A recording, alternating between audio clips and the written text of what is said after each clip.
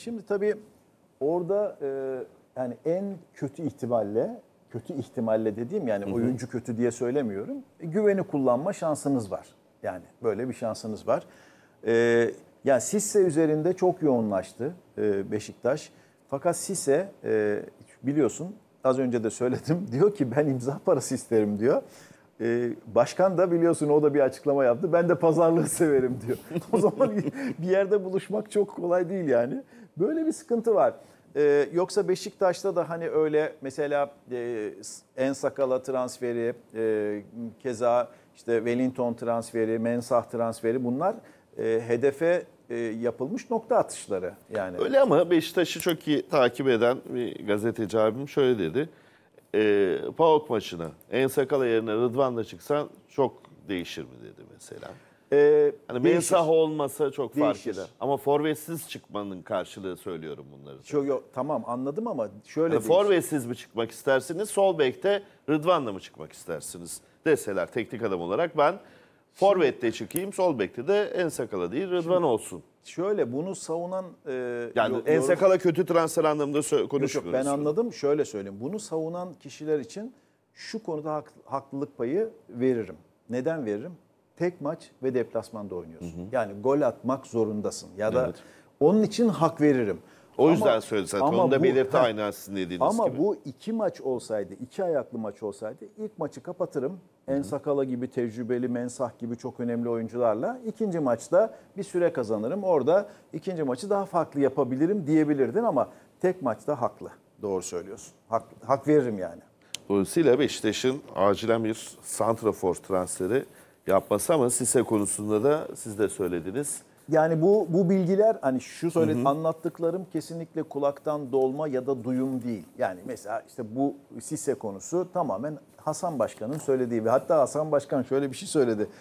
Arar dedi dolaşır bulamazsa belki bize bile gelebilir tekrar dedi Sisse. Bu arada Alanya Spor'dan konuşmuşken e, Junior Fernandes Ama gideceği belliydi. gitti. Enteresan hani gözümüzün önündeki futbolcu. Onların hepsini biliyoruz. Ee, şöyle e, ben onu da söyleyeyim sana. Ya ben burada Ama var hemen ya, hemen bütün takımlar kanat oyuncusu ararken e, gözümüzün önündekinin gitmesi bana enteresan geldi açıkçası. şöyle söyleyeyim. e, Başarılı buluyorum çünkü. Çok başa, iyi bir oyuncu. Yani şöyle söyleyeyim sana. Ben bu noktada yani şey için söylemiyorum. Hasan Başkan'ın açık yürekliliğine var ya inanılmaz e, sempati duyuyorum.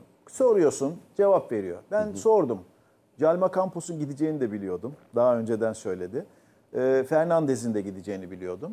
Şöyle söyledi. Dedi ki bizdeki sürecini doldurdu. Eskisi gibi motive olmuyor dedi. Onun için bu sezon sonunda vedalaşacağız dedi. Ben finalden önce gideceğini biliyordum. Yani olmadı dedi. Olmuyor çünkü e, verdiğimiz şansları iyi kullanamıyor dedi. Yoksa kalitesinden kesinlikle Tabii, şüphe etmeyeceğimiz Çok kolay adam geçiyor şutları çok Ama isabetli. diyor, ama böyle mental olarak e, sanki Alanya Spor'u terk etti diyor. Ve bu mental e, kaybını biz tekrar tamir edemedik. Yani başaramıyoruz diyor. Ki futbolun biliyorsun üç temel özelliği var e, derler. E, yani antrenör kursu gibi olmasın ama teknik taktik, fizik kondisyon, mental hazırlık. Eğer ikisini yaptın mental olarak oyuncuyu hazırlayamadıysan öbür ikisi hiçbir işe yaramaz. Ya da birinin e, mental hazırlığını yaptın ama fizik gücü yok yine yapamaz. Yani o şey gibi olur yani. Ben mesela çok iyi evet diyorum ki mesela şuraya pas at diyorum. Hadi sen in pas at desen olmuyor yani o iş. Beşiktaş için Modest ismi de çok konuşuluyor. Anthony Modest. Valla biraz zor gibi görünen O da bir zor bir transfer. transfer, Yani tabii. şimdi ben e, çok isim geliyor gündeme. E, muhtemelen bu isimler de e, kulüp yönetimleri tarafından, teknik direktörler tarafından piyasaya çıkartılan isimler.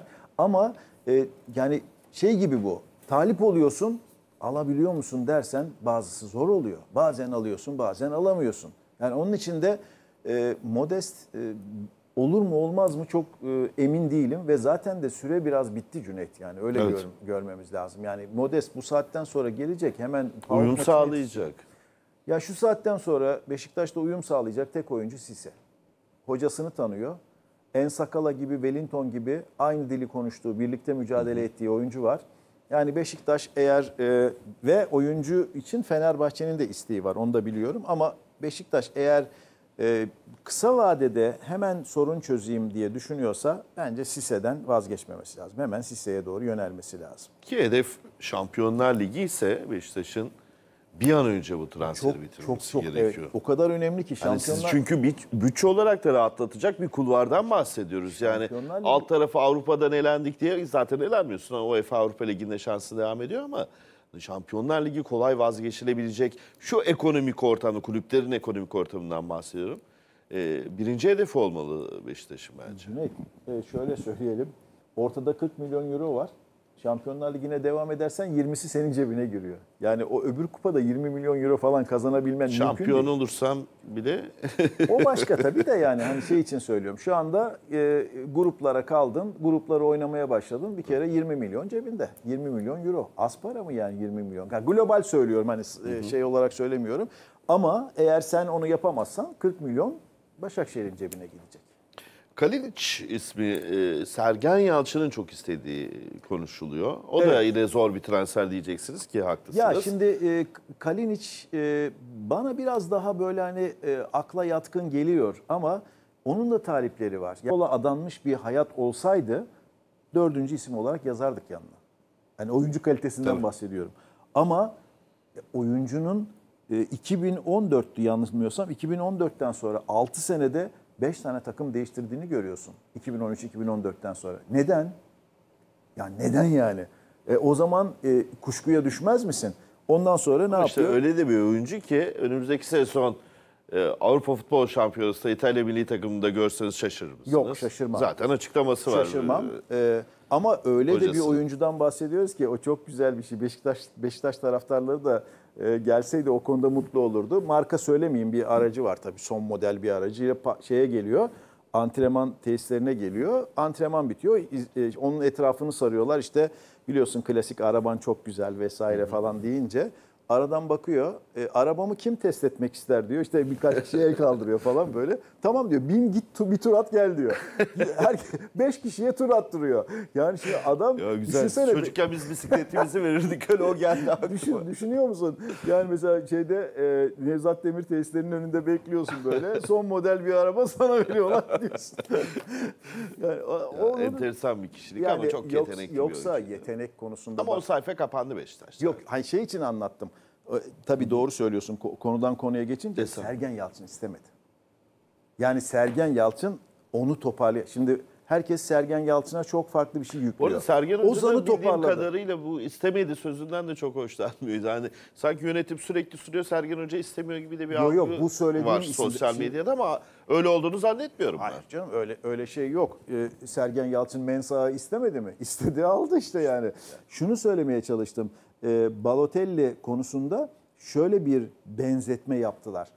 Ya işte Ozan Tufan bak nereye geldi gördünüz mü falan. E tamam da kardeşim Ozan Tufan'la Balotelli'yi yan yana koymayalım yani lütfen yani.